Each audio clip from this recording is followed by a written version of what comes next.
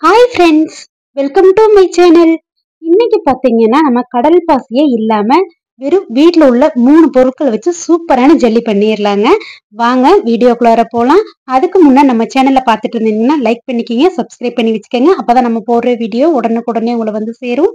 நான் வந்து ஒரு கப் அளவுக்கு வந்து ஜவ்வரிசி எடுத்துருக்குறேங்க.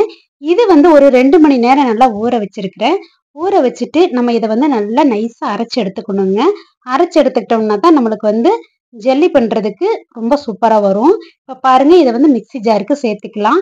அந்த ஊற வச்ச தண்ணி இருக்கும் பார்த்தீங்களா அதையும் சேர்த்து நீங்கள் நல்லா அரைச்சி எடுத்துக்கலாம். இப்போ நம்ம எல்லாத்தையும் சேர்த்தாச்சு. இப்போ அதை நல்லா கட்டிகள் இல்லாமல் நல்லா அரைச்சி எடுத்துகிட்டு வந்துக்கோங்க. இப்போ அரைச்செடுத்தது வந்து கடாயில் சேர்த்துக்கலாம். இப்போ ஒரு டம்ளர் அளவுக்கு ஜவ்வரிசி எடுத்துருக்குறோம்னா ஒரு மூணு டம்ளர் அளவுக்கு தண்ணி சேர்த்துக்கோங்க. தண்ணி சேர்த்திங்கன்னா மட்டும்தான் நம்மளுக்கு வந்து சீக்கிரம் வந்து கட்டி தட்டாமல் நம்மளுக்கு வந்து நல்லா அந்த ஜல்லி பதத்துக்கு நம்மளுக்கு வருங்க. இப்போ கைவிடாமல் நல்லா கலந்து விட்டுட்டே இருக்கலாங்க.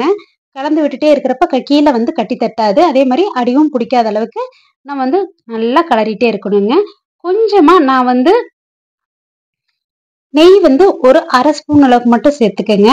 ஏன்னா இது வந்து ஓரங்கள் வந்து பிடிக்காம இருக்கிறதுக்காக நம்ம வந்து கொஞ்சமாக நெய் சேர்த்துக்கிறோம்.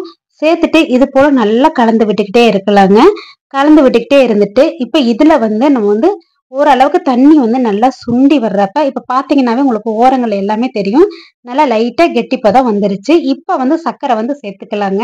நான் வந்து ஒரு கப் அளவுக்கு வந்து ஜவ்வரிசி எடுத்திருக்கிறேன்னா அதே ஒரு கப் அளவுக்கு வந்து சர்க்கரை எடுத்திருக்கிறேங்க. அதையும் இதோடய சேர்த்துக்கலாங்க. சே சர்க்கரையும் நல்லா கரைஞ்சி நல்லா மெல்ட் ஆகணுங்க. இப்போ பாருங்க கலர் ஓரளவுக்கு நல்லா சேஞ்ச் ஆனதுமே நம்ம வீட்டில் வந்து கேசரி பவுடர் வச்சுருப்போம் இல்லைங்களா? அது இருந்துச்சுன்னா அது சேர்த்துக்கலாம். அப்படி இல்லைன்னா ஃபுட் கலர் இருந்ததுன்னா அது உங்களுக்கு எந்த கலர் பிடிச்சதோ அந்த கலர் சேர்த்துக்கங்க. நான் வந்து இன்னைக்கு ரெட் கலர் தாங்க எடுத்திருக்கிறேன். இது வந்து ஒரு கால் ஸ்பூன் அளவுக்கு எடுத்துக்கங்க. எடுத்துட்டு சேர்த்துக்கலாம். சேர்த்துட்டு இதை நல்லா கலந்து விடுங்க. இப்போ பாருங்க கலக்கிறப்பவே கலர் வந்து எவ்வளோ சூப்பராக இருக்குதுன்னு. இது போல ரொம்பவும் குறைவான பொருட்கள் வச்சு வீட்லயே நம்ம வந்து குழந்தைகளுக்கு வந்து ஜெல்லி பண்ணி கொடுத்துர்லாங்க. ரொம்பவும் விரும்பி சாப்பிடுவாங்க. இப்போ பாருங்க நல்லா திக் ஆயிருச்சு. இப்போ இதை நல்லா பாக்குறப்பவே நம்மளுக்கு வந்து கலர் வந்து நல்லா சூப்பரா இருக்கணுங்க. இந்த கடைகள்ல எல்லாம் குழந்தைய பார்த்தா ஜல்லியை பார்த்தா உடனே கேட்டு வாங்குது பாத்தீங்களா? அந்த மாதிரி கலர் இருந்துச்சுன்னா குழந்தைங்க ரொம்பவுமே விரும்பி சாப்பிடுவாங்க. இப்போ இன்னுமே திக் ஆயிருச்சுங்க. இந்த அளவுக்கு நம்ம தூக்கி ஊத்தி பார்த்தோம்னா நல்லா கெட்டி பதமா இருக்கணுங்க. இப்போ ஒரு பிளேட்ல வந்து கொஞ்சமா நெய் தடவிக்கலாங்க. நெய் தடவிட்டு நம்ம வந்து ஜெல்லி பண்ணி வச்சிருக்கோம் பாத்தீங்களா? அதை வந்து இந்த பிளேட்டுக்கு ஊத்திடலாங்க ஊத்திட்டு நீங்க கப்ல கூட சின்ன சின்ன கப் இருந்ததுன்னா கூட ஊத்தி வைக்கலாம். நான் வந்து ஒரே பிளேட்ல ஊத்தி வச்சிருக்கிறேங்க.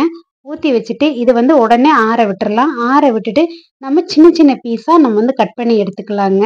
கட் பண்ணிங்க பாருங்க நம்மளுக்கு வந்து கட் பண்ணுறதுக்கும் எவ்வளவு சூப்பரா வருதுன்னு பாருங்க.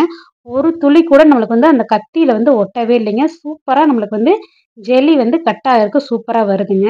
இப்போ பாருங்க எல்லா பக்கமும் நம்ம வந்து ஈவனா சின்ன சின்ன குட்டி குட்டி பாக்ஸ் மாதிரி நம்ம வந்து கட் பண்ணி எடுத்துக்கலாங்க.